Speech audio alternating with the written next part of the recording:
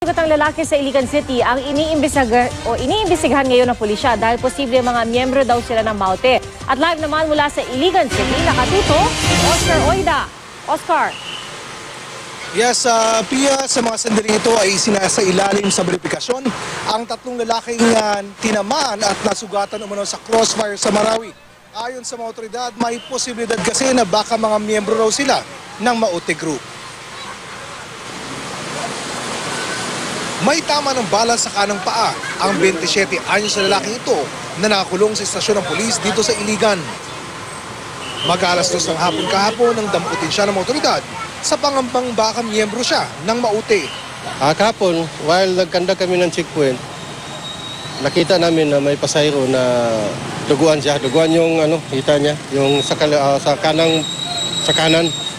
Lalong nagduda ang pulisya sa paiba-ibang statement ng lalaki.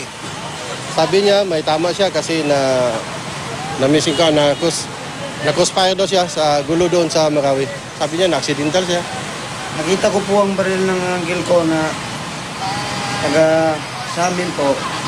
Naligot ko, dinala ko at inayos-ayos ko.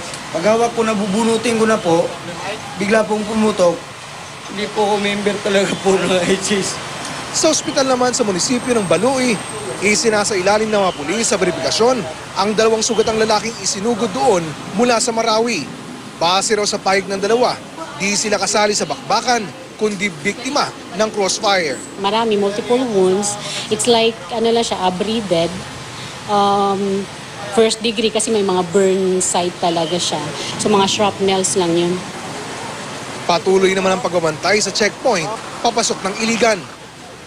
Oras ang bubunuin bago makalampas ang mga sasakyan. Ang naging sistema dito ngayon, bawat pasahero ay pabababain, ano? Pababain ang ah, kanilang mga sinasakyan bago mabot dito sa mga pinaka-checkpoint. Pipila dito, maglalakad ng ah, ilang ah, metro hanggang makarating dito sa area na ito kung saan sasailalim sila sa inspeksyon, yung mga bagahe nila titingnan para makatiyak na wala silang mga dalang pinagbabawal na bagay. Sa gitna ng checkpoint, isang SUV ang hinarang ng mga pulis matapos mag-counterflow, makalusot lang sa traffic. Pinababa ang lalaki at hindi muna pinalis.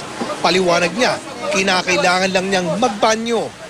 Ininspeksyon ng mga pulis ang kanyang sakyan. Nang walang nakitang kaduda-duda, binigyan na lang siya ng tiket. Pia sa mga sandaling ito ay patuloy ang mahigpit na pagbabantay dito sa kanilalagyan natin sa checkpoint dito sa Iligan. Pia? Maraming salamat, Oscar Oida.